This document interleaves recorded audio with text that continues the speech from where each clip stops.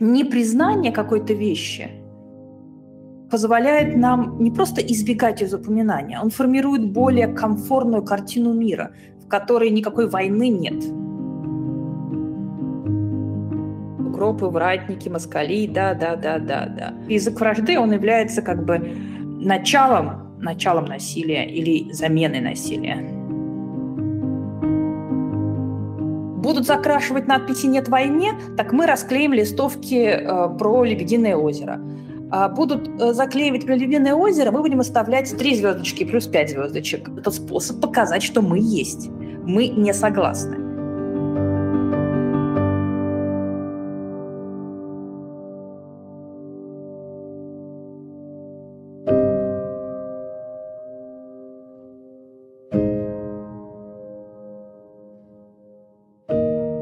Очень редко война в риторике властей прямо вот называется войной. Да? Кажется, вот у нас реально последняя война, это была Великая Отечественная.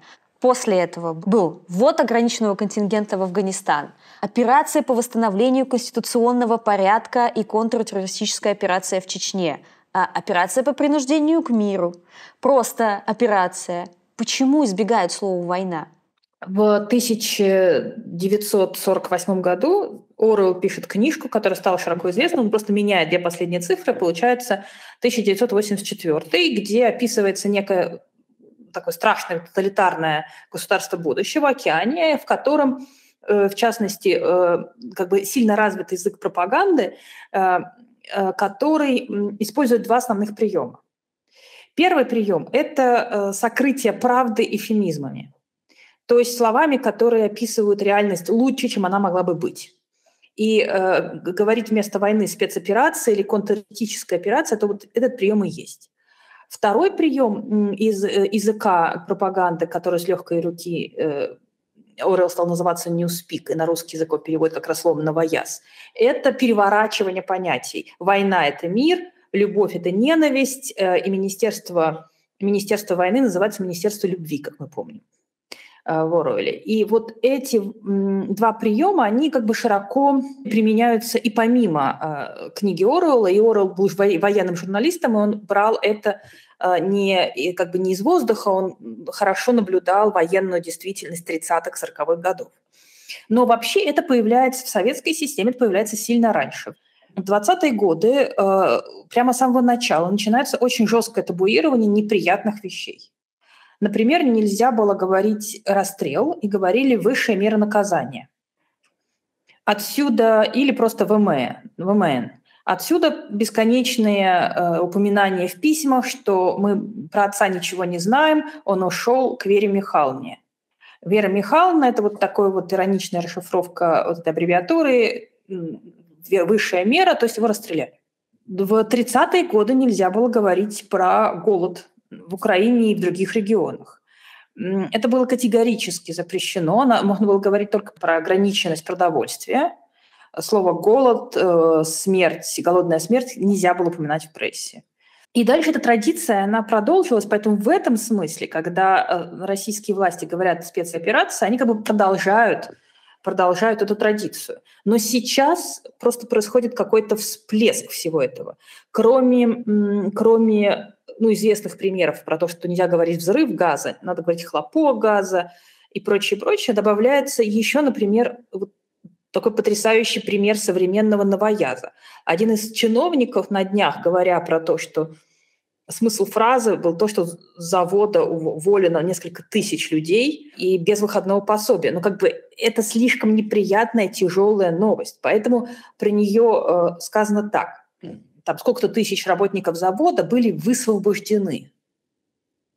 То есть высвобождены – это как бы на самом деле уволены, э, ну как бы или отправлены в отпуск без сохранения зарплаты. Но они на этом новоязе, они высвобождены, потому что мы не говорим про неприятные явления. И поэтому и этот ньюспик, он прямо вот сейчас массово развивается, потому что непризнание какой-то вещи – Э, позволяет нам не просто избегать из упоминания, он формирует более комфортную картину мира, в которой никакой войны нет.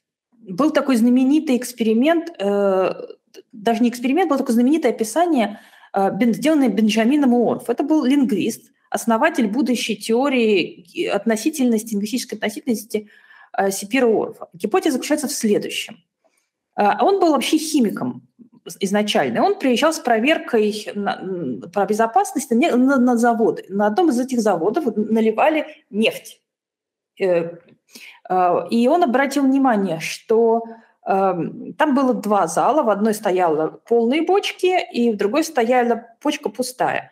И были надписи «полная бочка, пустая бочка». И рабочие курили возле бочки, на которой было написано «пустая», и, и не курили там, где было написано «полная». Хотя любой человек с навыками с навыками химика, вообще с элементарным понятием безопасности, понимает, что там, где пустая бочка, тоже курить нельзя, потому что опасна не сама бочка, а опасно испарение которые все равно в этом помещении присутствуют, вне зависимости от того, насколько бочка полна. Тем не менее, говорит Орф, на, когда он говорил с рабочими, на них действовало само слово, что бочка пустая, значит, можно курить. Это позволило ему основать вот свой тезис про относительность лингвистическую, про то, что язык формирует наше мышление. То, то есть как, так как мы э, описываем мир, мы так его и согласны видеть. Поэтому в мире, который представляет сейчас наше правительство, войны нет.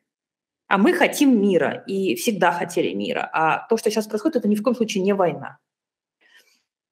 И этот язык, он направлен на, как бы на, ну, на неразрушение главного советского такого еще запрета. Все что угодно, только не война. Вот война, она не должна прийти в наш дом. И чтобы людей как бы от этого закрыть, защитить, э, на это работает новояз. Язык вражды. Я так понимаю, что конфликты между разными государствами, та же война, она еще и язык, я так понимаю, рождает. И мы еще можем этот народ как-то презрительно называть.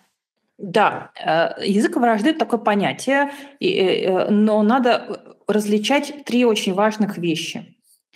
А, в отличие от языка, от новояза и изопового языка, язык вражды — это, в принципе, набор некоторых приемов, которые дегуманизируют э, твоего противника, делают его там, не знаю, сравнивают его с тараканом, с э, грязью и с прочим, прочим, прочим. Э, язык вражды может не обязательно использовать государство. Это может просто вот, в принципе, когда Марья Ивановна приходит домой и обнаружит, обнаруживает, что ее муж Василий Петрович пропил всю зарплату, она хватает сковородку и кидается на своего мужа Васю с криком «Ах ты, тварь!». Момент Марья Ивановна использует язык вражды. Она сравнивает его как бы с ну, не с человеком. И дальше вы можете легко представить, что дальше скажет Марья Ивановна и что ей ответит муж Вася. Это язык, он может быть не обязательно государственный, и, в принципе, он в повседневной коммуникации используется и, к сожалению, часто, и он становится более интенсивной, когда происходит какое-то напряжение социальное, политическое и так далее. Но в ситуации как бы сильных политических конфликтов государство начинает использовать язык, язык вражды как часть своего новояза угу. для того, чтобы настроить одну группу против другой. Возникает он, в принципе, ну как бы люди, э, люди очень поздно осознали себя единым человечеством. И даже сейчас это даже это истина не, не для всех Э, понятно, судя по недавним выступлениям разных официальных лиц. А, в принципе, люди жили небольшими группами еще в не очень далеком историческом прошлом, и э, как бы во многих языках, многих культур название племени – это и значит слово «люди», а все остальные как бы они не люди. И твоя задача максимально э, как бы берегать себя и не контактировать с, э, с другими люди, людьми без без надобности. И возникает очень много правил ограничений. И в частности, при любой, любой конфликт строится с того, что ты начинаешь доказывать, что вот, вот те другие, они как раз не являются людьми. Так возникает ксенофобия. Ксенофобия – очень древняя вещь, страх перед чужими. И отсюда язык вражды. То есть он, в принципе, механизм, к сожалению, свойственный человеческому роду. Но как бы с ним надо бороться, потому что в ситуации паники мы как бы легко э, люди не очень рефлексивные, легко на него переходят. И вот Марья Ивановна начинает кричать «Ах ты, тварь!». Ну, укропы, э, вот такое слово, а оно как родилось? Укропы, ватники, укропы, вратники, москали, да, да, да, да, да. Это один из характерных языков, как бы, примеров языка вражды, который очень широко распространился в 2014 году. На самом деле он тлел и до этого. Люди начали вставлять его в речь свою, чтобы быстро промаркировать свою позицию. Понимаете, как бы эволюция языковых средств устроена таким образом, что мы выбираем то, что позволяет нам сэкономить усилия. Вставление языка вражды в свою речь быстро позволяет показать, как бы, кто я и кого я ненавижу. Ну, то есть можно Z, Z налепить, а можно а, обозвать, э, значит, укропом. Да. А, и э, язык вражды и так плохая вещь. Когда начинает использовать государство, это прямо легитимизирует его. Это прямо страшная вещь на самом деле когда с тобой долго разговаривают, сейчас даже не в контексте происходящего, а на протяжении долгих лет с тобой, из телевизора, официальные лица, те люди, которых ты называешь властью, долго говорят с тобой, используя язык вражды, с тобой что происходит? Ты, ты этим как бы заряжаешься, да, ты тоже переходишь на этот язык. Ну, у нас как бы есть несколько примеров. Вот из недавней, например, это история войны Э, хуту и Тутси, и, чудовищный геноцид в Руанде. Из давних примеров это э, война, и это, собственно говоря, гено... Холокост в Германии. И как бы и там, и там все началось с языка вражды и с дегумани... Значит, что позволяет делать язык вражды? Он позволяет прочертить границы между мной и им. Вот я такой, а он другой. Соответственно, немецкая пропаганда рассказывала, что там евреи любят деньги, евреи не работают на земле, евреи как бы не такие, как немцы, евреи украли у немцев все деньги и прочее, прочее. Таким образом проводили границы очень четкие. Это первый этап работы языка вражды. В Руанде язык вражды работал таким образом, они говорили, что там тут все это такие тараканы, они убивают, э, они вот не люди, они тараканы, они как сказать, насилуют женщин, они убивают наших детей. То есть вот они как бы не люди, опять же. Ну, вот, например, Фидель Кастро на Кубе называл своих противников политически «кусанос». Это буквально черви. Обратите внимание на политический язык Советского Союза времен Сталина. А те, кто был против, они назывались вредители. Но вообще вредители – это сельскохозяйственный термин. Это насекомые, которые вот вредят твоим посевам. Дальше, соответственно, когда эти символические границы проведены, то люди чувствуют, что вот как бы есть группа, которая уже не такая, как мы она другая. А раз она другая, то к ним можно не применять те правила, которые применяются к нам. И вот это вот и есть ключевой э, пункт, после которого просто использование языка вражды превращается в насилие прямое. Потому что в тот момент, когда люди это осознают, осознают, что к, этой группе других правила, которые применяются к моей группе, можно не применять, после этого к ним можно применять насилие, и вербальное, и физическое. Ну и дальше эта группа других, она начнет выдавливаться из того пространства подальше куда-нибудь, изгоняться, убиваться и так далее.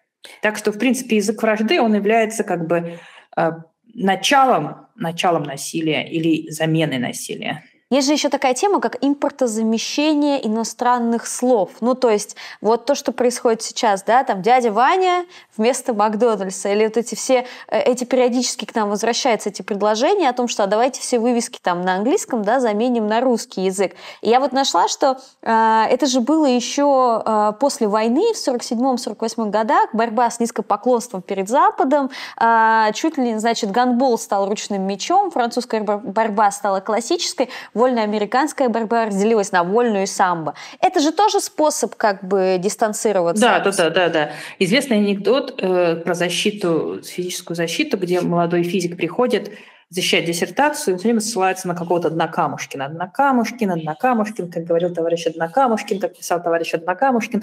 После защиты к нему подходит и говорит, кто такой Однокамушкин? Это я так перевел фамилию Эйнштейн. Ну, то есть по-немецки буквально один камень. Айнштейн. А, и э, товарищи Однокамушкины, да, всплывают в нашей речи постоянно, когда мы хотим таким вот образом дистанцироваться, и тогда действительно вот этот вот государственный ньюспик начинает отказываться от любых э, заимствований иностранных. В реальности это, конечно, недостижимая цель, это невозможно сделать. Но, тем не менее, такое, такое происходит. Не исключено, что мы пойдем и по этому пути тоже. Тактику власти я понимаю, а с нашим мышлением что в этот момент происходит? Оно как-то меняется? У людей ограниченный э, вариант ответных стратегий. Можно перейти к э, открытому протесту. Можно выходить с плакатами, можно рисовать наклейки и лежать их на стену, э, на бампер машины, на заднее стекло, еще что-нибудь. Как правило, это это очень храбрые действия, и они, как правило, влекут за собой наказание по целому букету статей, включая абсолютно оруэлловские статьи о fake news за упоминание, за дискриминацию российской армии.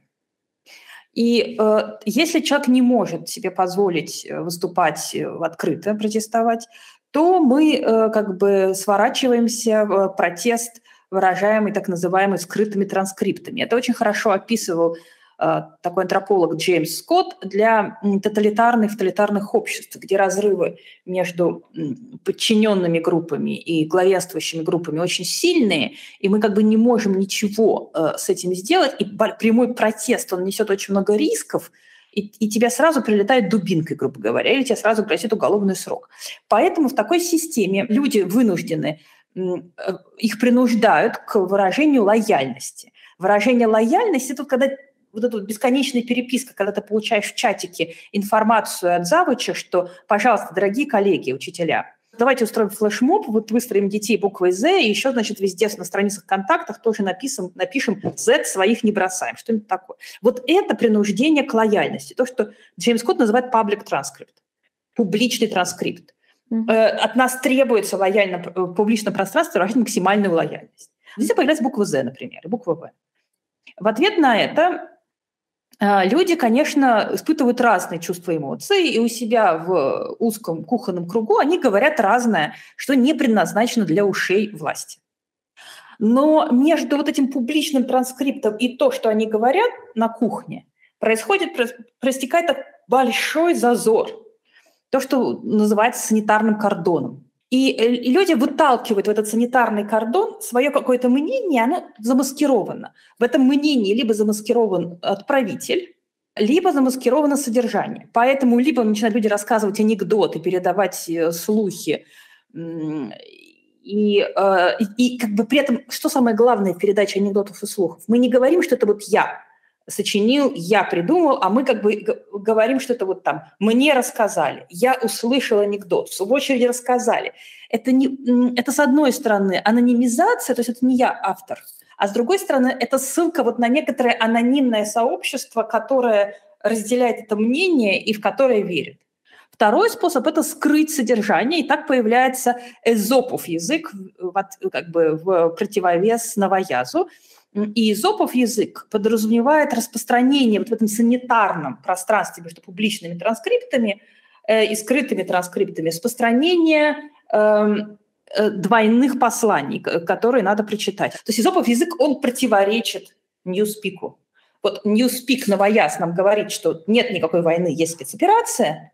Люди распространяют разные шутки, типа роман, э, роман Толстого «Спецоперации и мир», и, а также э, в публичном пространстве пытаются делать свои высказывания изоповым языком. Например, появляется огромное количество разных граффити с балетом.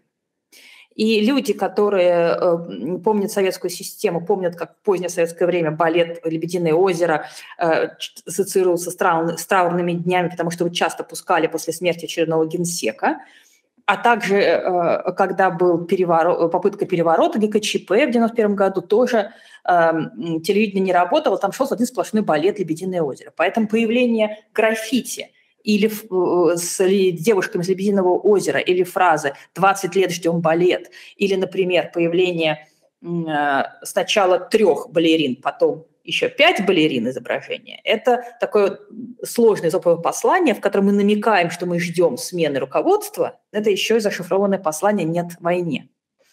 А, вот пример изопового языка. Изоповый язык, он сражается с новоязом. Это два, как бы, два типа эм, посланий, два типа управления языком. Вот сказали о том, что в этом как бы санитарном да, коридоре э, появляются пространства для слухов, каких-то легенд, я так понимаю, городских легенд. Да? Могли бы привести какие-то подобные слухи или что-то из прошлого? Что там появляется и, и что люди таким образом выражают? В этом санитарном кордоне появляется как бы огромное количество разных слухов и о том, что нас там всех скоро вышлют, и о том, что вернется смертная казнь, всех э, инакомыслящих расстреляют, и о том, что отберут квартиры уезжающих. То есть как бы э, слухи усиливают э, до предела э, идущие репрессии С одной стороны. С другой стороны, там много всяких слухов о том, что на самом деле происходит на территории Украины. Туда же вливаются всякие родительские чаты, в которые начали с бешеной, с бешеной силой сейчас распространяться довольно старые страшилки десятилетней давности про отравленную еду. Э, и э, вот есть два таких как бы э, сильных родительских страха. Они безумно примитивные, они абсолютно бессмысленные, и они позволяют максимально дегуманизировать врага. Это слухи про то, что наших там, детей, вариант наших солдат воруют на органы, а, и с ними что-то там делают. И второй слух, еда, произведенная в Украине, детская, она на самом деле отравлена ядовитыми веществами. И таким образом дегуманизируются украинцы. И это тоже попадает в этот санитарный кордон, и люди начинают как-то э, с этим взаимодействовать. И это, такие слухи, они возникают не без прямого влияния пропаганды. Ну, напомним, например, что э, то нам рассказывают, что э, на территории Украины биолаборатории есть, где используется специальный избирательный вирус, который убивает только славян, а вот он не трогает почему-то э, украинцев. То э, Зюганов, например, не моргнув глазом, сказал, что мертвых солдат воруют на органы в Украине. Ну, то есть как бы всячески пропаганда пытается э, у, как бы управлять людьми с помощью абсолютно такого первородного ксенофобского страха. Потому что как бы другие как бы аргументы, они плохо действуют, когда люди все-таки слышат слово «война».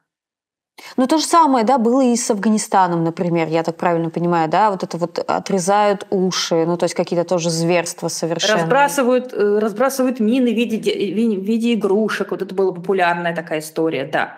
Но Афганистан все-таки это немножко другая история, потому угу. что это происходило как бы не, не на нашей территории, да, вот да, не да. рядом с нами. Это чужая страна, э, про которую мало кто чего понимал и мало кто чего знал. И это как бы все-таки воспринималось как нечто довольно далекое. А сейчас как бы это воспринимается тут как некий страшный процесс, который происходит с нами и с нашими братьями и сестрами. А, есть такая прекрасная песня а, группы «Ногу свело», которую я нежно люблю. А, Ее название матерное, поэтому не буду цитировать, но она вышла в прошлом году, но там есть прекрасный припев. «Горит на площади языческий костер, мы, мы в нем сжигаем наших братьев и сестер». И вот это вот ощущение, что мы сжигаем наших братьев и сестер, оно как бы толкает людей на ведение как той войны, которую они могут себе позволить внутри России. А, знаете, в 1960-х годах молодой семиотик Умберто Эко, автор «Имя Розы» и множество прекрасных романов, написал маленькое эссе о том, как будет выглядеть э, сопротивление в будущем. Он сказал следующее, что вот э, а, все будет э, в будущем, власти сильных будет принадлежать вся медийная сфера, они могут легко это контролировать, как в воду глядел. И по, по такому щелчку могут все отключать. Знаете, отвлекаясь от темы, есть такой прекрасный советский анекдот, который просто вот абсолютно в тему как на Красной площади принимают парад, и на трибуне стоят Александр Македонский, Наполеон и Брежнев. А Александр Македонский говорит, а вот если бы у меня были бы советские танки, я бы завоевал весь мир. Там какой-нибудь еще завоеватель стоит, ну, например, там, не знаю, Тамерлан и говорит, а вот если бы у меня были бы вся советская пехота, я бы завоевал еще вторую половину мира. А на это Наполеон смотрит и мрачно говорит, а если у меня были бы советские газеты, никто бы не узнал про мое поражение при Ватерлоу. Э, так вот, эм, ровно так оно и действует. Происходит тотальный контроль, и по щелчку можно все отключить. Э, и дальше, говорит Умберто Эко, мир э, замыкается, и слабые люди, они теряют доступ к передаче информации, они не могут ее передать. Единственное, что остается людям делать, и такой, вести такую семиотическую войну. Семиотическая значит знаковую войну. Это означает, что они, получая сигнал от власти, они начинают ломать этот сигнал в процессе, в момент получения его. И таких людей э, Бертека называл семиотические партизаны будущего. И вот сейчас мы все семиотические партизаны будущего. Там, например, э, мне присылают фотографии, я собираю огромную базу данных граффити. Что мы видим? Там, например, обычная надпись. «Осторожно, опасная зона сосульки». Человек подбегает и пишет, э, к этой трафаретной надписи приписывает слово «Россия». И получается, осторожно, опасная зона – Россия. Сигнал, идущий от власти, изменен. Вот это, вот это то, что власти семиотического партизана. Будут закрашивать надписи «Нет войне», так мы расклеим листовки э, про «Лебединое озеро». А будут э, заклеивать про «Лебединое озеро», мы будем оставлять на надписи 3х плюс 5х. Э, то есть три звездочки плюс пять звездочек. Кое-где начали рисовать большие такие буквы «З». Соответственно, э, семиотические партизаны ночью в 2 часа ночи подошли и к букве «З» пририсовали с одной стороны букву «П», а с другой стороны букву «Ц». И получилось прекрасное слово, которое мы так все знаем и любим.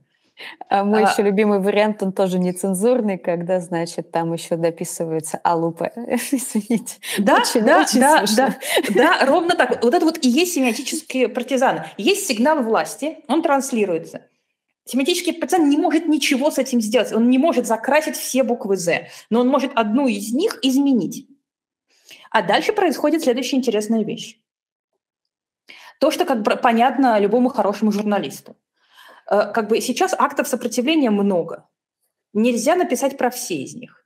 Но с какой вероятностью э, э, вот, человек проходит, Марья Ивановна по городу Питера, например, и видит, например, надпись «Нет войны». Но она их много видит, она их уже не фотографирует. А вот, например, проходит Марья Ивановна по Питеру и видит вот буква «З», а вокруг нее появляется «П» и «Ц», например, или вот «Алупа». И она, э, ее мозг это читает, удивляется вот этому несоответствию, считывает второй раз. Получается юмористический эффект, то, что мы называем Э, как бы не юмористический эффект юмора, потому что юмор, такой юмор заставляет нас это запоминать. Марья Ивановна вынимает телефон, фотографирует, выкладывает в социальные сети, и дальше это распространяется, и с гораздо большей вероятностью об этом напишут журналисты. Соответственно, чем больше абсурда языковых игр, тем больше это привлекает медийное внимание. Э, и дальше получается, что протестные знаки лучше продаются тогда, когда они больше, более абсурдные. Mm-hmm. И а тогда они лучше распространяются. Тогда тот, кто создал такой, такой хитрый знак, э, вот такой хитрый, так, так хитро взломал вот этот вот сигнал от сильного, этот семиотический партизан, он выиграл потому что э, он один раз нарисовал буквы П и С вокруг буквы З, э, и это там коммунальщики затерли через, э, скажем, два часа. Но за это время фотография везде разошлась. Вот ровно этот процесс мы наблюдаем сейчас в социальных сетях.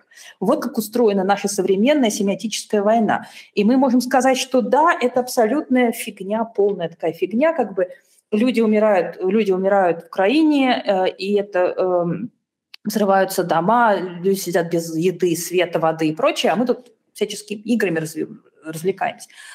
С одной стороны, это так. То есть как бы действительно ситуация абсолютно несравнимая. Вот такое сопротивление и э, смерть людей. С другой стороны, если люди ничего не могут сделать, это тут единственный способ, когда они могут э, оказать сопротивление и призвать других оказывать сопротивление, потому что это способ показать, что мы есть, мы не согласны. Я записываю, я записываю сверханонимные интервью с людьми, которые это делают. И они, как правило, чувствуют себя в ловушке. Они э, не могут себе позволить выступить с публичного э, своим именем, ну, там, повесишь на наклейку на свою машину «Нет война», и тебе прилетит протокол. Один протокол административный, а второй уже уголовка. То есть даже если ты это сделал, э, это количество действий конечно. То есть как бы дальше ты уже сядешь, а у тебя дети, а у тебя как бы жизнь. И поэтому они выбирают для себя семиотическую войну, хоть что-нибудь сделать. И это, конечно, э, ну, как бы создает ощущение протеста, очень важно. А, это семиотическая война, это мы впервые такое наблюдаем? Или, например, вот там совет, то, что происходило в Советском Союзе, это тоже какая-то такой прообраз, да, или про, про ну, начало этой семиотической войны? Или это другой процесс? Ну, нет, семиотическая война, она на самом деле более-менее всегда была, но просто в советское время был другой э, способ, другие способы контроля и ага. медиа, и всех остальных. Сейчас, например, то, что вот сейчас происходит, происходило в Беларуси mm-hmm. два года назад и год назад. Там, например, когда запретили вывешивать красно-белый флаг, знак независимой Беларусь, Беларусь, например, в окнах ставили, не знаю, бутылка белого вина, бутылка красного вина, бутылка белого вина, например, или Э, фото, э, там, не знаю, бумажки с надписью «Колчак», Буденный, э, Деникин, и прочее, прочее, прочее. То есть вот разного рода такие игры, показывающие, которые, опять же, работали ровно так же. Это привлекало внимание, люди это фотографировали, это начало распространяться, и вот эта вторая жизнь такого э, лозунга, э, такого знака, она была гораздо успешнее первой. С окон это быстро срывали, а в интернете это распространялось. И такое, такая конструкция не характерна для советского времени. Угу.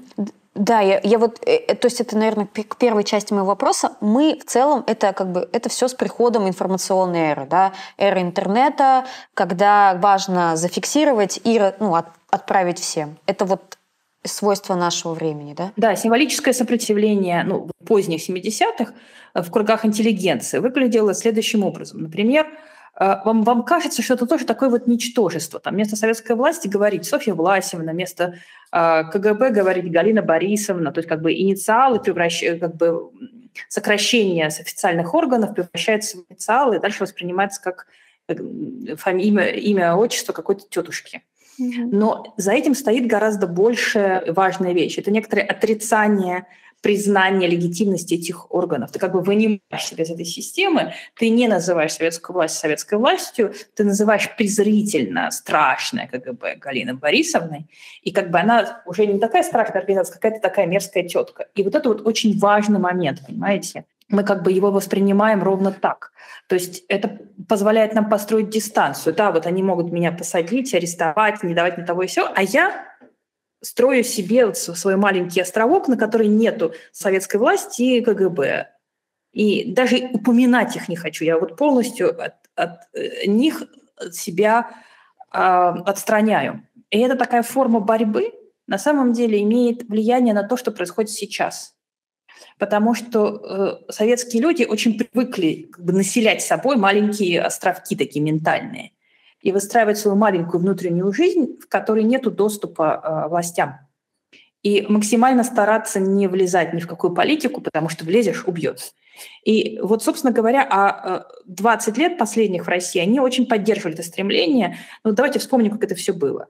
Мы там все знаем, как разгоняли митинги там, в поддержку Навального, еще чего-нибудь, но в реальности преследовали очень часто вообще любые попытки любого политического публичного действия. То есть вероятность того, что митинг зоозащитников разгонит, был большой. Вероятность того, что за, за разгон каких-нибудь защитников исторических зданий, тоже большой. То есть в реальности любая попытка проявления своей называется, агентности в публичном поле, вот я выхожу и говорю, я хочу вот этого, оно всячески преследовалось в обмен на неприкосновенность в личной жизни. Вот в своей частной жизни ты можешь делать, что хочешь, но вот, вот туда не суйся. Вот это вот пространство политическое, оно огорожено э, красными флажками. Поэтому э, история о том, что выборы куплены, что там э, не, не надо голосовать, и так все голоса заранее распределены, они как бы очень поддерживались властными структурами, потому что как бы это только поддерживает эту выученную беспомощность. И поэтому, поэтому как бы люди привыкли к выражению недовольства, грубо говоря, на кухне. А публично они привыкли к выражению лояльности. Я вот спрашиваю там милых э, тетушек, которые учителя, и говорю, ну, как бы, букву Z рисуете? Рисуем. Детей ставите? Ставим. Как бы, ох, как это Саша достала, просто вот не можем. Но надо, а то уволят, детей кормить нечем. То есть они как бы не то, чтобы они рады, они прям совсем не рады, они по ночам плачут, но делают. Но это же шизофрения такая. Ты делаешь одно, а в голове у тебя другое. Еще и тебе навязывают, как об этом говорить. Да, несомненно. Поэтому Поэтому вот этот весь фольклор, который распространяется в санитарной зоне, он является таким способом хоть как-то э, ситуацию выправить. То есть тебя принуждают э, выстраивать детей буквой «З», и ты прямо очень сильно по этому поводу внутри материшься, сделать ты ничего не можешь, зато с чувством некоторого облегчения ты расскажешь анекдот про, э, про букву «З». То есть фольклор возвращает нас к самим себе? Но фольклор позволяет протестовать там, где протестовать открыто нельзя. И это как бы одна из таких важных его функций современного политического фольклора. И поэтому, естественно, вот сейчас происходит взрыв всего этого. Это не надо удивляться.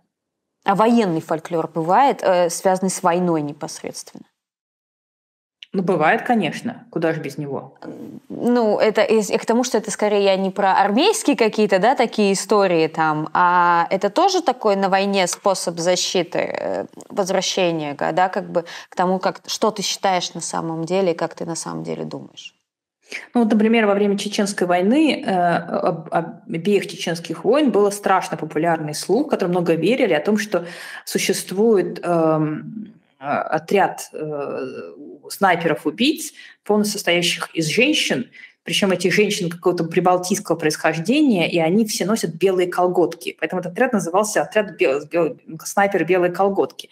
А, на самом деле он существует, например, и в прибалтийских странах, и в Чехии про него рассказывают сюжет. Это вполне себе интернациональный сюжет, но если мы ну, как бы у любого слуха, у любой легенды есть некоторый скрытый месседж. Вот как бы причина, по которой люди передают информацию в такой как бы свернутом виде.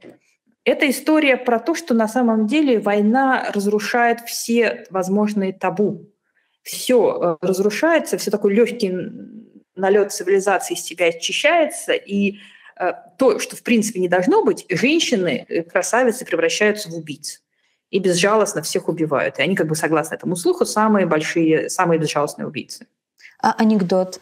Вот как э, война может породить смешное? Понимаете, мы смеемся не из-за того, что нам смешно. Давайте вот сразу как бы это поймем.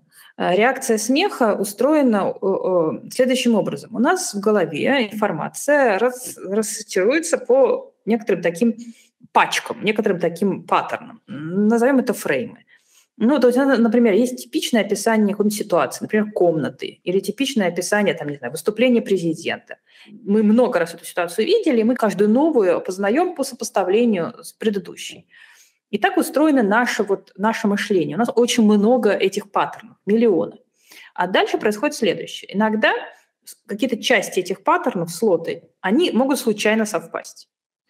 И э, то есть один элемент одного фрейма совпадает случайно с другим. Если они очень далеко, наш мозг просто зависает, потому что он не понимает, он должен вот это распознавать или вот это распознавать. И происходит такой клаш – и вот человек либо застывает в ситуации такого когнитивного диссонанса, он не знает, что ему делать, либо он начинает смеяться. И эта реакция смеха – это вот реакция на это вот несовпадение, которое выражается в том, что он приходится информацию перерабатывать два раза. Именно поэтому, возвращаясь к нашему предыдущему моменту, граффити с двойным смыслом лучше запоминаются и лучше распространяются.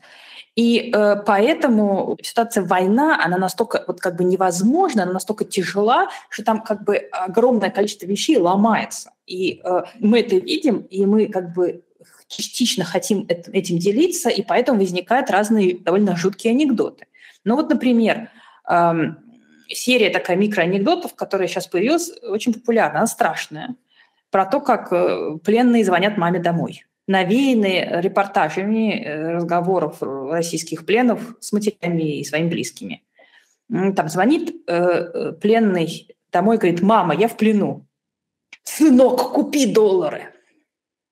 Ну, то есть вот этот анекдот, смотрите, что он говорит. С одной стороны, он, он сразу говорит про ту ситуацию, которая табуирована, и это очень важная функция юмора в таком обществе – пробивать стенку, сделанную из табу.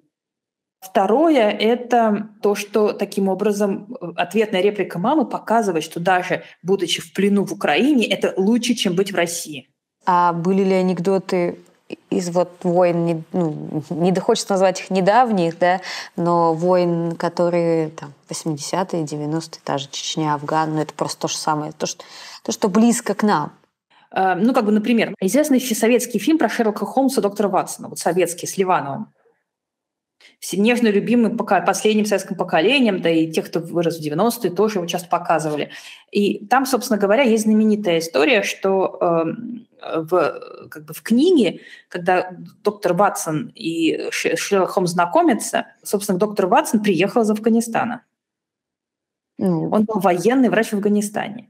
В советских изданиях это несколько раз табуировалось, и в фильме это тоже табуировалось. И э, потом, и, собственно говоря, были анекдоты что значит знакомиться, значит, вот первая сцена знакомства Шерлока Холмса и доктора Ватсона. Доктор Шерлок Холмс говорит, о, вы доктор Ватсон, наверное, вы из Афганистана. Откуда вы знаете, Холмс? Потому что вы в цинковом гробу. Вот он, пожалуйста, на вскидку сразу то, что я вспомнила. Я сейчас сижу и думаю, про Чапаева, да, это целый прям ряд фольклор, ну потому что Чапаев очень далеко. А Великое Отечество настолько сакральное, что сейчас представить о том, что они были анекдоты, ну прямо невозможно. Ну, там было много анекдотов. В частности, например, была целая серия анекдотов про переговоры э, Сталина, Рузвельта и Черчилля, эм, в котором как бы Рузвельт и Черчилль выступают как такие, ну, вменяемые люди, а Сталин, он выступает как такой сверх, э, сверхдиктатор, который может подавить всех. Ну, там в одной из историй, вроде бы даже полуреальной, там, значит, они обсуждают э, передел мира, и Черчилль с Рузвельтом говорят, а вот ну, что по этому поводу скажет Папа Римский, на что Сталин отвечает, а, а сколько батальонов Папы Римского и прочее, прочее, прочее. То есть таких, таких историй, э, таких историй там на самом деле много, войны много. Но просто понимаете, они сохраняются, пока они несут какую-то важную нагрузку.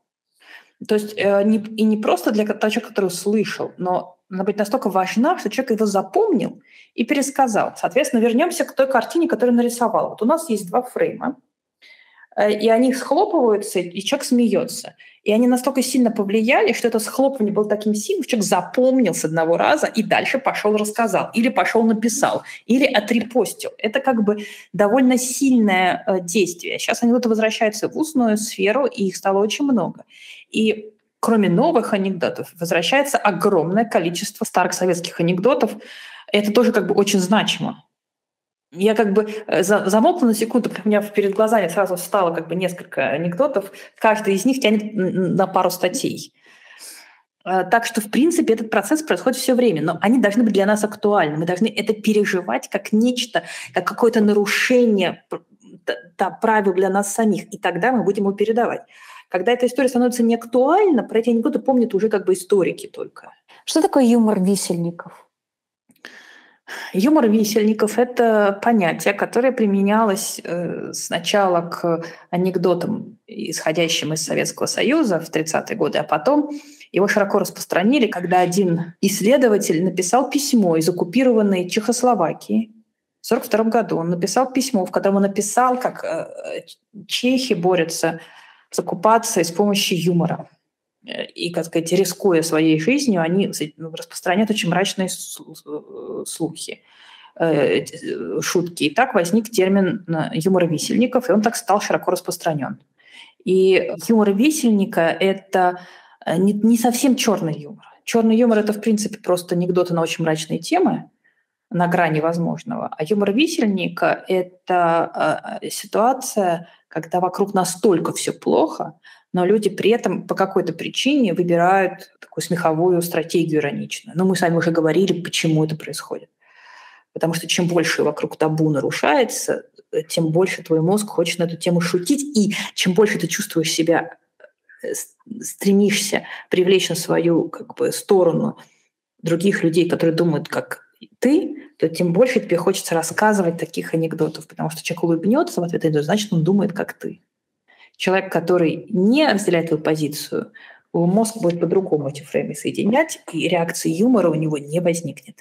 Что происходит со всеми этими явлениями, да, Newspeak, Новояз, Зопов язык, да, ну окей, Newspeak со стороны власти, Изопов язык, который рожден ему в пику, а после того периода, когда вот он был этим да, порожден, они что-то остается, что-то уходит, и по какому принципу это отсеивается?